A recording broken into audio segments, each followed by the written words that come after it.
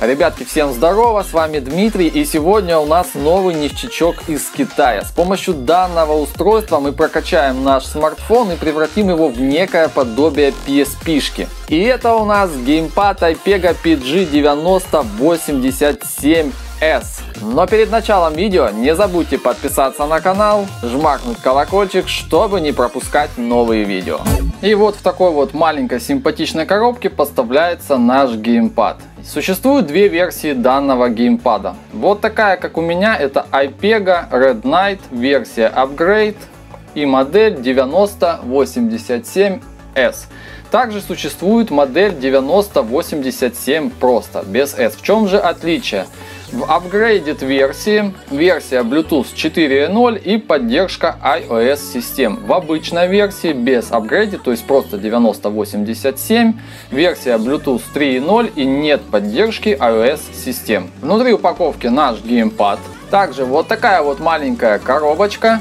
И в ней кабель micro-USB для зарядки нашего геймпада. И вот такой вот маленький шнурок для того, чтобы зафиксировать его на геймпаде. И, к примеру, если вдруг вы сильно захотите, вы можете свой геймпад носить на руке. Я не знаю зачем, но есть. Также в комплекте имеется инструкция. Настоятельно рекомендую перед использованием геймпада изучить данную инструкцию, так как в ней описываются все варианты правильного подключения геймпада. По спецификации данный геймпад имеет встроенную батарею объемом 400 мАч. Данного объема вам хватит на 15 часов беспрерывной игры.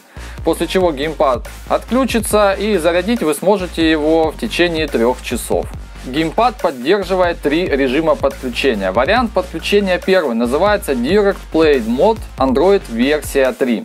Для того, чтобы перейти в этот режим, вам нужно на геймпаде удерживать кнопку А плюс домик в течение 2 секунд. После этого геймпад перейдет в этот режим, загорится соответствующий индикатор под номером 1 и после этого вы можете по Bluetooth уже сопрягать телефон с геймпадом.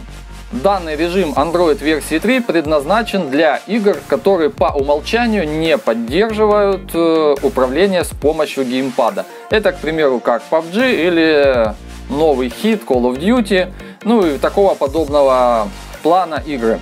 Но для связки с этим режимом вам также придется скачать приложение, которое называется Shooting Plus V3. После того, как вы скачали данное приложение, вы его запускаете и в самом приложении вам будет уже доступен определенный список игр, которые поддерживает данный геймпад. После того, как вы запустили уже приложение, можете его свернуть и запустить, к примеру, тот же Call of Duty.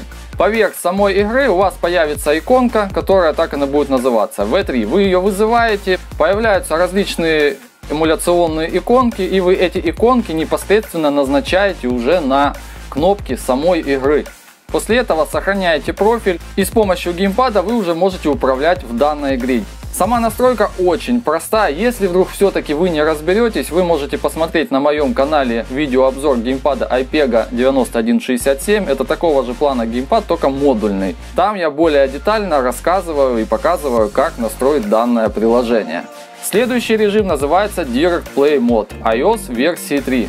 Вот именно в этом режиме геймпад работает с iOS системами, но также для того, чтобы геймпад работал с iPhone, вам обязательно в связке потребуется именно вот это вот приложение Shooting Plus V3. Запустили необходимую вам игру, геймпад уже подключен и в самой игре вы назначаете уже непосредственно эмуляционным кнопкам кнопки самой игры, сохраняете профиль и играете. То есть для того, чтобы играть на iPhone, вам просто так не получится подключить геймпад, как хотел бы этого видать продавец, вам все-таки придется использовать стороннее приложение Shooting Plus V3, либо, возможно, тот же Octopus. Для того, чтобы перейти в режим iOS версии 3, вам нужно в течение 2 секунд зажать и удерживать кнопку Y и домик. Третий режим Android стандарт мод. Для того, чтобы перейти в этот режим, вам нужно зажать X и домик удерживать в течение 2 секунд, загорится третий индикатор. После этого вы смартфон сопрягаете уже с геймпадом и играете. Э, геймпад по умолчанию сохраняет преднастройку, то есть если вы играли на третьем режиме, после того как вы его выключите, опять включите, он сразу же будет работать в третьем режиме и автоматически подключится к вашему смартфону. Третий режим Android Standard Mode, он предназначен для игр, которые уже по умолчанию поддерживают управление с помощью геймпада. То есть здесь вам в принципе не придется ничего настраивать. То есть если тот же Shadowgun Legends, э, Асфальт 9, они поддерживают управление с помощью геймпада, то есть подключили геймпад в этом режиме, подключили по Bluetooth к телефону, зашли в игру и все, кнопки там уже все назначены, что за что отвечает. Если вам что-то не нравится, вы можете перейти в настройки непосредственно уже в самой игре и переназначить э, кнопки на те, которые более вам удобны. И также продавец э, в инструкции указывает, что данный геймпад способен работать еще и с Windows. Но тут есть такая оговорочка, если вы геймпад подключите комплектным кабелем, компьютер его не увидит, не произойдет никакой установки драйверов, ничего. Этот геймпад будет работать с ПК при условии, что в ПК у вас есть Bluetooth передатчик, свисток. Либо если это ноутбук и у вас там есть Bluetooth, да, то именно по Bluetooth вы сможете подключить. И, собственно, наш геймпад. Геймпад выполнен из действительно хорошего пластика, и когда берешь его в руки, нет ощущения, что это прям совсем какой-то хлам. То есть от Опеги у меня были и дешевые геймпады, и не только Опега, и Мокут были. Там качество прям серьезно было совсем печальное. Здесь же за свои деньги, а стоимость данного геймпада в районе 20 долларов, качество действительно хорошее. На лицевой части у нас идут кнопки, то есть X, A, Y, B. И, кстати, сразу скажу, что нажатие ход тугой, приятный, то есть качество кнопок хорошее. Также имеется домик, это для включения геймпада. Select, Start, вот такие два стика, крестовина и турбо режим. Сверху L1, L2 это ну, триггеры, и они выполнены не в роли курка, а в роли просто кнопок. Ход приятный, нажатие четкое. Сбоку имеется переключатель включить-выключить, отверстие microUSB для зарядки и отверстие для установки нашего комплектного шнурка. Также по бокам установлены резинки, это для того, чтобы наш смартфон хорошо зафиксировался и во время игры не выпал. Вот такой вот раздвижной элемент и внутри, как вы видите, опять красуется логотип iPega и металлическая пластина. Тыльной стороны также вы можете наблюдать 4 маленьких шурупчика. Это показывает, что вот максимум какая возможна длина. Установить смартфон действительно легко. То есть вставили одну часть, раздвинули, зафиксировали. Все секунда делов. Кстати, продавец указывает, что сюда можно установить смартфон длиной 170 миллиметров. И вот посмотрите, я вставил свой смартфон. Э, все, вот потолок, да, то есть предел. Тут остается буквально еще 5 миллиметров. Но эти 5 миллиметров я бы оставил на, на растяжку, да, то есть чтобы было, как говорится, как его зафиксировать, как его вставить. И вот, чтобы не быть многословным, прикладываем линейку. Длина моего смартфона 15,5, то есть 155 миллиметров. Теперь что касательно нажатия всех кнопок. Как я и сказал, ход вот этих кнопок тугой, хороший, то есть качество сборки у меня претензий нет. Что касательно удобства держания в руках. Если у вас рука небольшая, как у меня, да, то есть у меня ладошка маленькая, пальцы в принципе худые, вот так вот берешь геймпад и его комфортно держать. Для большой руки он не подойдет точно, хотя бы потому, что сам геймпад, как я и сказал уже, он маленький и кнопочки здесь очень маленькие, да, X, Y, B, то есть все вот эти кнопки, они маленькие, они не стандартного размера, как на всех геймпадах. Также на геймпаде имеется вот такой вот индикатор, который пронумерован. Индикатор 4 отвечает за уровень заряда вашего геймпада. 1, 2, 3 это, как я и говорил, различные режимы подключения. Ну а теперь давайте на примере различных игр я вам покажу, как это удобно им играть или нет, что мне нравится, а что нет. И на примере эмулятора Dendy.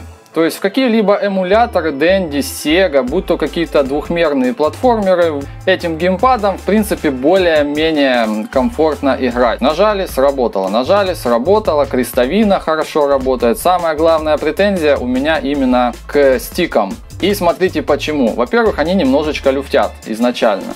Потом, к примеру, если, видите, чуть-чуть отвел, персонаж не двигается. Отвожу еще сильнее, не двигается. Еще сильнее, не двигается. То есть для того, чтобы заставить персонажа двигаться, нужно зажимать именно до упора. То есть на это напрашивается сразу вывод, что в какие-либо шутеры играть будет неудобно.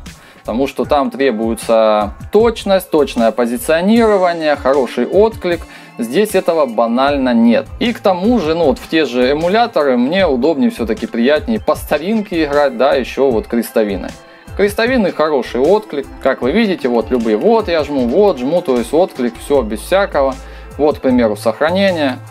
Вот я сейчас ушел, Еще раз нажимаю на правый триггер. Видите, перезагрузил. То есть в эмуляторе уже можно сохраняться. Так что для простеньких двухмерных каких-либо игр я могу его рекомендовать. Ну а теперь на примере гонок. Вот в гонке этим геймпадом реально очень удобно играть, потому что, во-первых, я здесь могу свободно уже пользоваться вот стиком. И на примере асфальта 9 здесь не требуется прям э, супер э, точность, да, потому что здесь не требуется чувствительность. То есть я здесь прекрасно могу стик дожимать до упора, и машина себя бешено не идет. То есть, пожалуйста, работают опять же все кнопки. Так что для гонок я этот геймпад рекомендую. Я нажимаю левый триггер два раза, смотрите хоп, и машинка поворот. То есть отклик у этого геймпада действительно хороший. Также хочу отметить, что когда вы играете в игры, бывают такие геймпады, которые вы поиграли там минут 15, он может просто взять, отключиться, связь потерять. Да, у меня были такие геймпады. У этого геймпада таких проблем нет, он связь держит реально стабильно.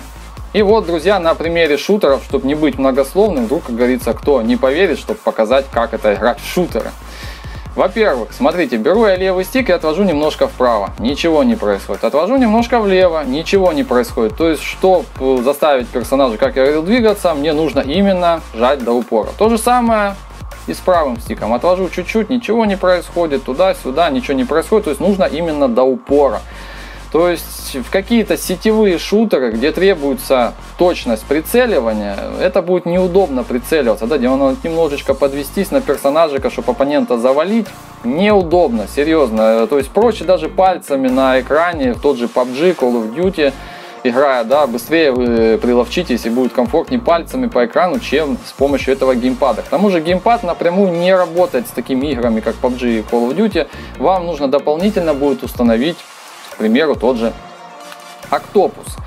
Э, еще в чем неудобство. Играя в шутеры, у вас обязательно указательные пальцы должны быть на триггерах. То есть это прицеливание и стрелять. Да, то есть обязательно они должны быть здесь.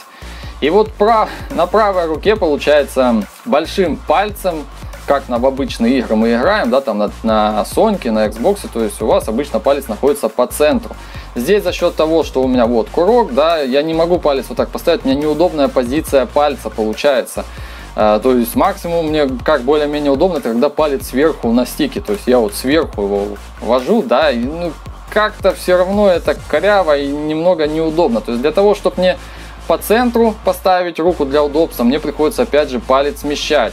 А точнее сказать, руку всю смещать, и палец уже уезжает. Нет, конечно, спустя какое-то время, как я вот, да, две недельки уже играю, я немного все-таки приловчился играть, но э, вот у меня игра Shadow Gun Legends, да, и Здесь я играю просто против ботов. Это в режим истории против ботов. Тут более-менее можно еще прицелиться. Тем более, если вдруг вы там попали в туловище, а не в голову, да, то есть хотели хедшот, но настроиться тяжело попали в туловище, тут не страшно. А вот именно в сетевых шутерах решают секунды, моменты, да, то есть хедшот бы там выписать. Здесь ну, будет это сложно сделать. Итак, друзья, какие же я могу сделать выводы по поводу данного геймпада iPega PG9087S? Если у вас большая рука, данный геймпад вам категорически не рекомендую. Во всех нюансах я рассказал. Просто неудобно будет держать и нажимать все клавиши. Если у вас небольшая рука и вы хотите приобрести данный геймпад для того, чтобы играть в эмуляторы Dendy, Sega, тот же PSP, без проблем настраивается, играется, я могу рекомендовать этот геймпад. Если вы хотите купить геймпад для игр в гонке, тут все отлично, как я и показывал, держать удобно геймпад, пользоваться удобно и отклик там получается тоже вполне нормальный. Если вы хотите приобрести данный геймпад для того, чтобы играть в сетевые игры, в режим истории, то тут приловчиться можно и также можно более-менее нормально играть.